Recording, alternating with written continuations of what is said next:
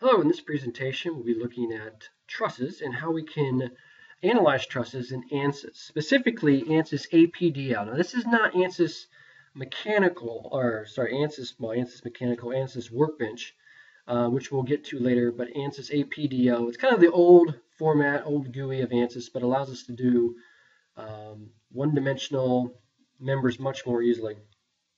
Um, so we're going to look at that today, actually two-dimensional members. Um, and uh, that'll be what we use to analyze our truss.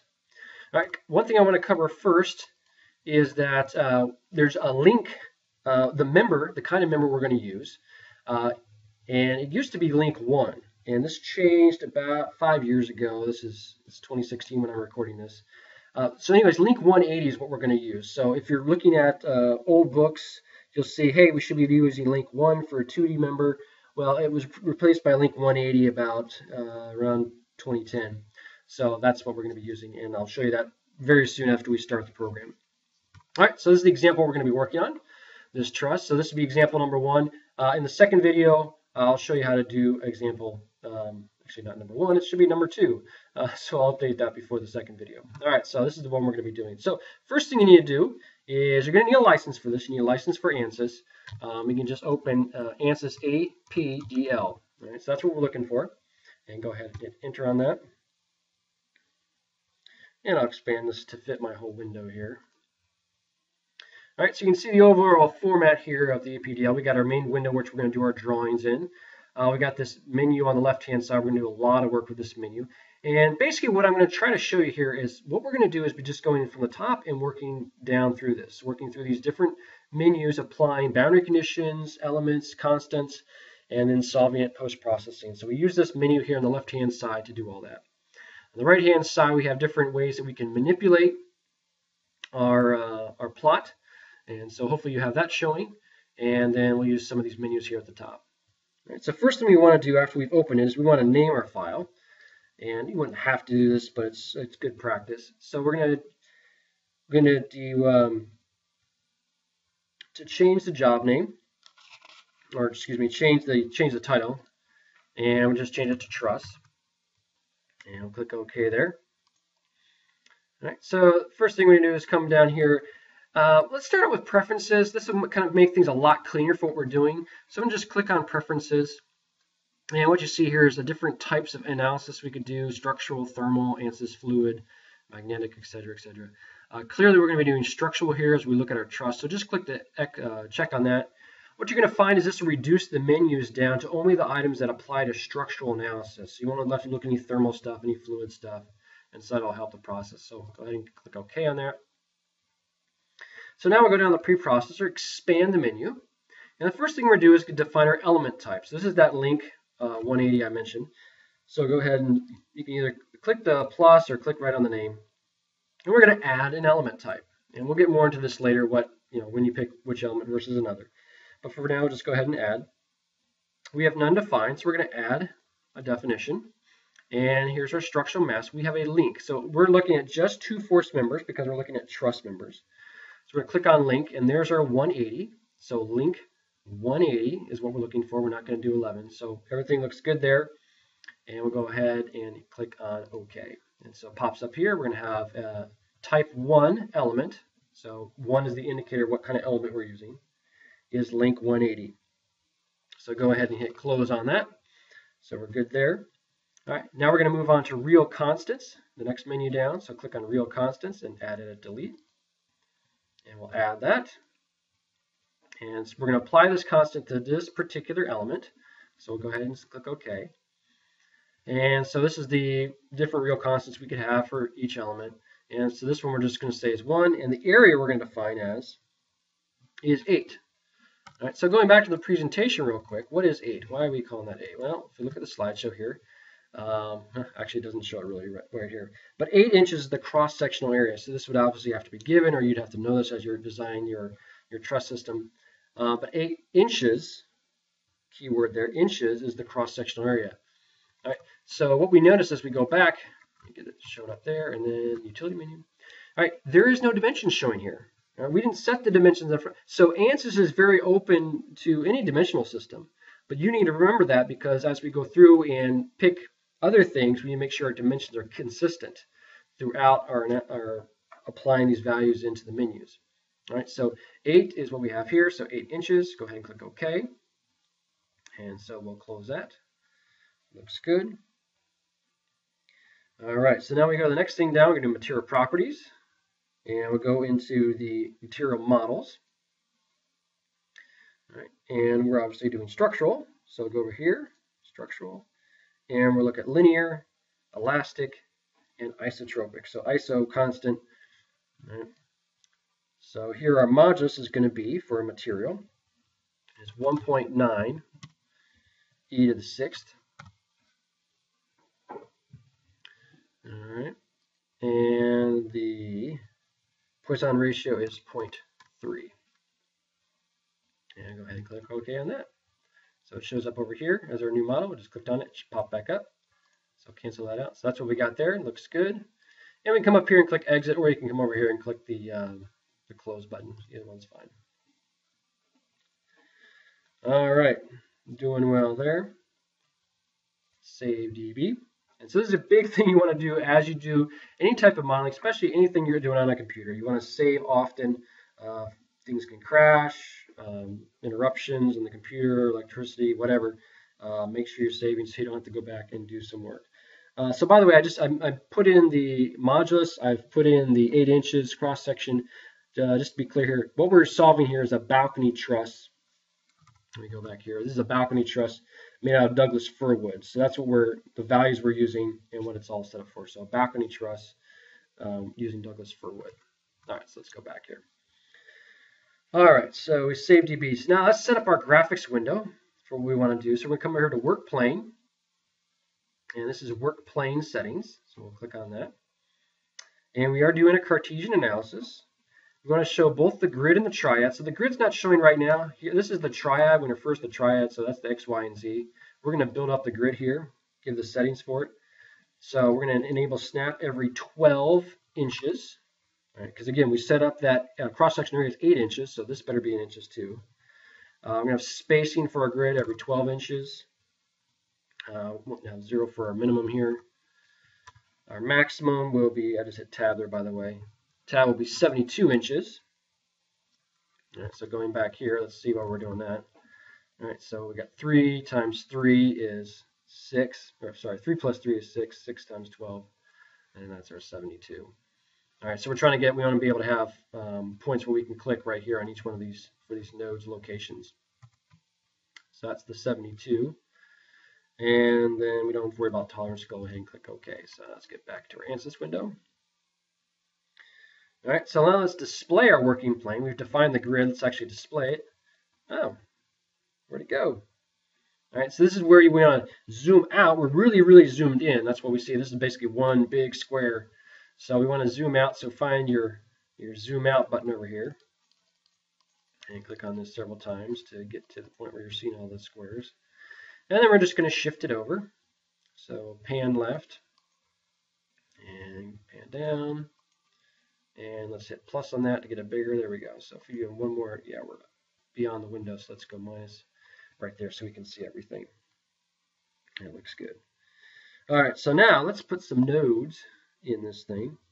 So we go pre-processor, come down here modeling, model what we're doing, and we want to create nodes on working plane. That's what we just defined. We created the working plane. So we'll click there. And now what it wants is, this is the, called the picker window, and we want to pick where we want. So we're going to uh, start here at 0, 0. All right. And then we'll move over to 3 feet, 1, 2, 3. Pick this node. So let's go back to presentation again. So we're right here. All right. And by the way, if you print off the handout, which I'll, again I'll have in the same location as we have for the past couple lectures, uh, basically look at the link in the in the notes uh, which will get you to that. Um, that'll show you where the where the nodes are at, and you can follow along probably a little better for me bouncing back and forth. All right, so we got three inches there. Uh, we'll do the one up here at three, sorry, not three inches, three feet, 36 inches, uh, 36 inches up here for this node, and then we'll go across for node four, and then node 5 out here. And we'll click OK.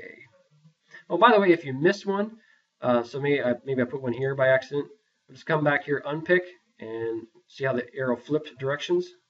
Right, so let me show you again. So pick is up, unpick is down. So unpick this one, all right, and then we can go back to what we're doing. All right, so go ahead and click OK. And you can see they're numbered.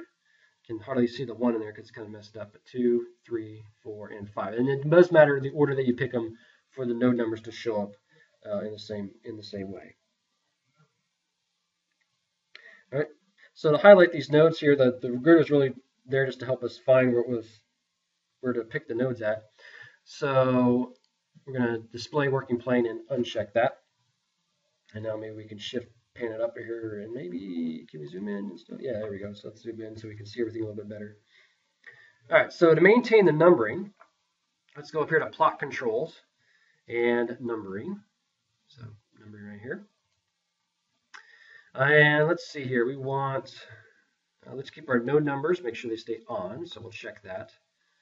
Uh, element attribute number, let's do that as well so we can see the element numbers. Um, see those, and that looks good. So click apply, and okay. All right, so we got one, two, three, four, five. We haven't put any elements in yet, so those aren't showing up. All right, to make sure we got everything that looks good, we can come over here to list um, no, we only have five, so it's not a big deal. Um, but in some other cases that we're going to be looking at in the future, it's going to matter um, where those show up. So we'll just go coordinates only, go ahead and OK. And I list the nodes same. We're at uh, node 1 is at 0, 0, node 2 is at 36 inches, y equals 0, etc., etc. All right, notice there's no uh, units shown in here, so we have to, again, be consistent with units uh, as we go through our model. All right, so again, save DB. Right, so let's uh, define some elements here.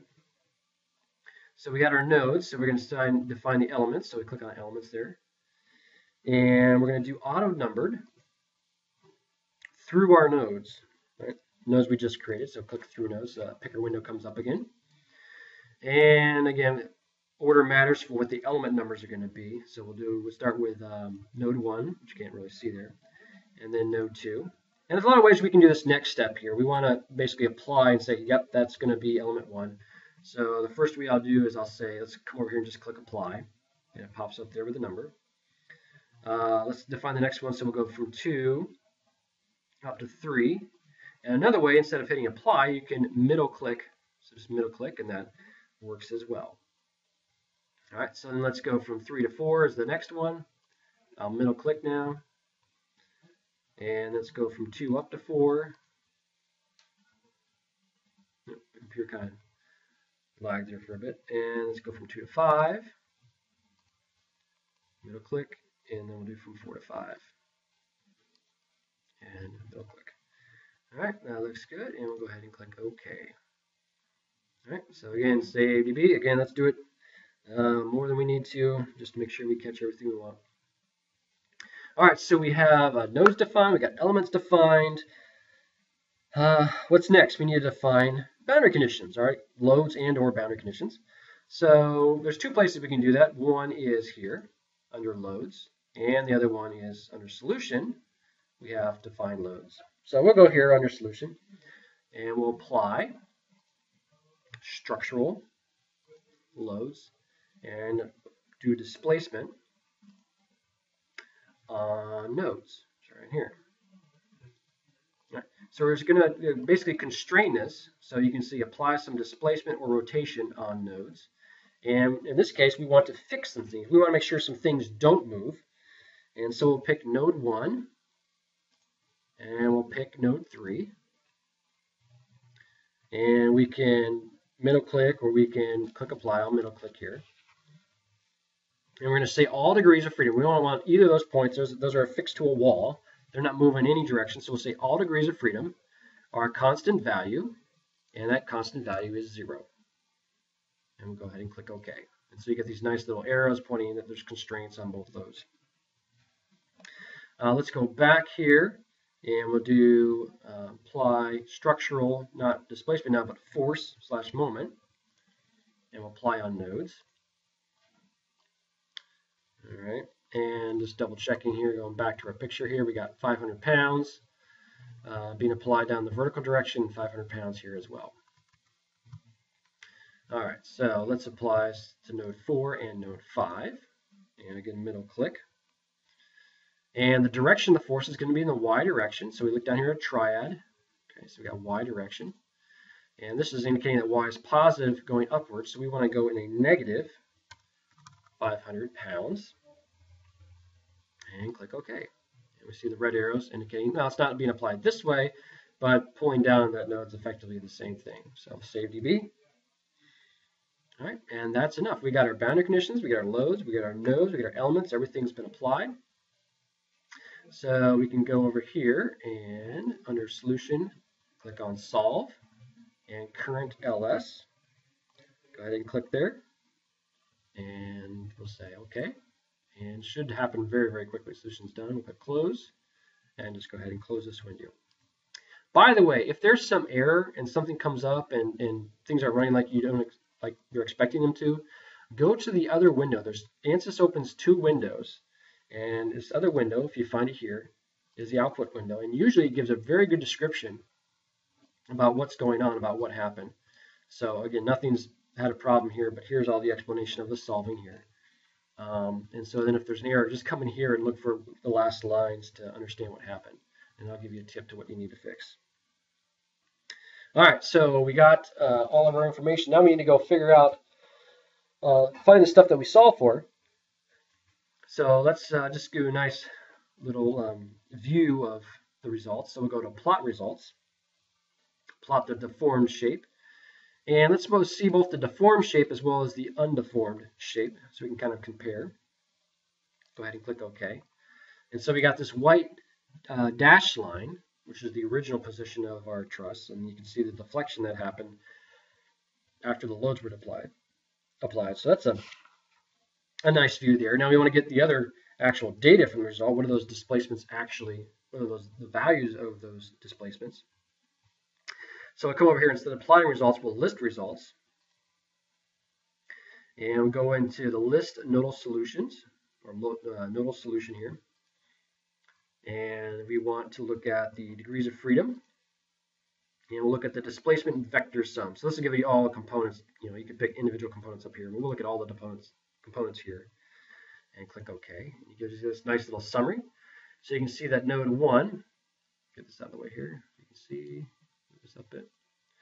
You can see that node 1 shows that node 1 did not move in the x or the y, which is good because we constrained that. That was the boundary condition.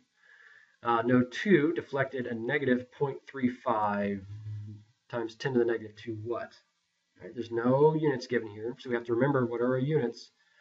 We're in inches. All right, so node 2, right here, deflected uh, negative 0.35 times 10 to the minus 2 in the uh, x direction, or negative x direction in this case and also negative 0.10525 times 10 to the uh, negative 1 in the y direction. All right, and you can see what happens for 4 and 5 as well. So that's how we can see the actual values for um, movement. All right, so that's nice, but now we also want to get some values beyond this. Let's get some stress values. All right, so to do that, let's look at their elements, because that's where elements show up. So we got the general post proc, and we go to the element table. All right, so down here the element table, and we'll define table. All right, so we need to define, we haven't defined it yet. So we'll add, and we'll come in here and we'll type in, again, this is just the name for it, so we're going to say the uh, force, uh, axial force uh, for our label. And you do by sequence number. And so basically what this is, is just within ANSYS, this is how it's defined. So everything you're seeing right now is really just a GUI, a graphical user interface for stuff that you could program into a text file and run in, and ANSYS would solve your model. So when you see S, MIC, MISC, it's, it's the command you would call to actually look at the stresses. So in our case, it's S MISC, and then we'll put a 1 here to indicate we're looking at those axial stresses, and we'll go ahead and say apply. All right, and then we'll come back in here, or say axial forces, Those are the axial forces. Now we'll come in here and look at the actual stresses. And again, we'll go by sequence number. And instead of S-miss, we'll do like an LS and 1. So again, this is just how ANSYS defines stress and um, finding stress and axial force. So we got those two defined. So we'll go ahead and close. And now we'll go back and we'll say element table, plot element table.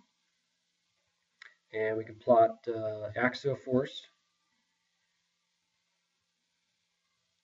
and see what we get there. So we actually see the forces that are in our members. And maybe want to zoom out now.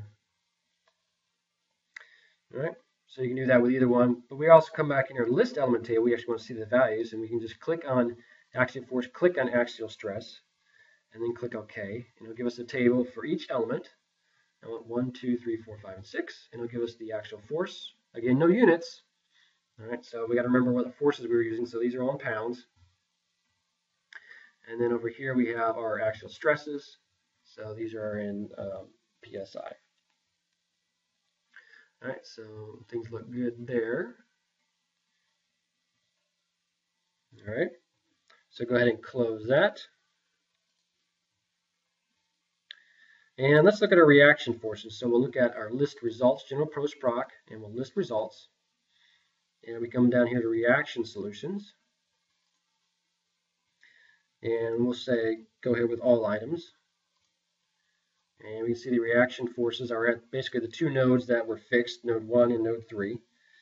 And we have 150 pounds, or sorry, 1,500 pounds in the x direction and negative 1,500 pounds in the x direction. So at node 1, right, we can see it's the reaction force is pushing this way, right, which makes sense because it's it's going downward here, so it's going to be pushing into the wall. So the reaction is a push back.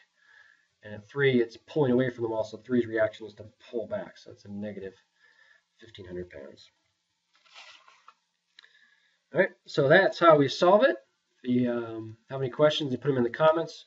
Try to answer those. Otherwise, as you finish up, again, make sure you save DB. And so that actually means saving to a particular file. Let's save our overall analysis. Come up here and uh, save as. Make sure we know it's, it has been saving it to some random file, so make sure you can save it to where you want. So um, I'll save it on your mind. Basic things. So we're going to call this truss DB. It looks like I'd already saved it before, which is fine. Okay, and go ahead and replace that. All right. So hopefully uh, that gives you a nice overview of ANSYS. Again, I'll do the second example in the next uh, video, and you can check out another way you can work on solving that. All right.